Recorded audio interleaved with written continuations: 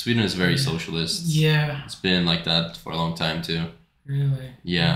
Although now. I, I, I would guess now private schools are becoming more popular because Mhm.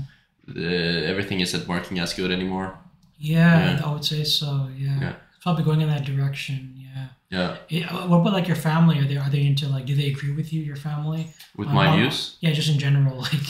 Yeah, I would say so. I mean, um, like uh, you know how uh, how women and men differ on the political spectrum. Yeah. Yeah. Like women tend to be a little bit more left, left, and Mhm. men a little bit more right. Yeah. Uh, maybe a lot even these days. Probably. Um, I mean that goes. I would say that goes for my family too. Like with my sisters and my mother, um, versus my brothers and my father. Um, Interesting.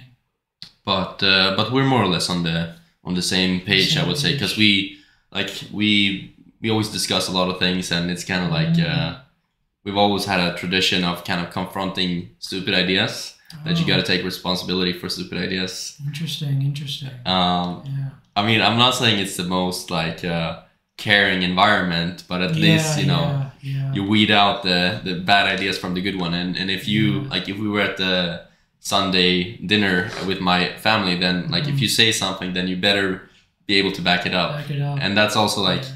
A thing about having many siblings i would say that's Right. you know you don't get away with with bullshit that you would get away with as a single Mm. child like Right, oh we love you so much no matter what you do Makes Like, sense. So you actually do come from a uh, like a big family.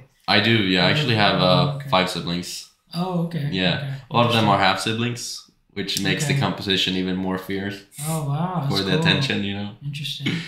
Yeah. I hope you enjoyed that clip of the HH podcast. If you want to see another clip, click here down to your left. And if you want to see the whole unedited episode, click down here to your right. And last but not least, if you want to subscribe, you can do so here in the middle. Thank you.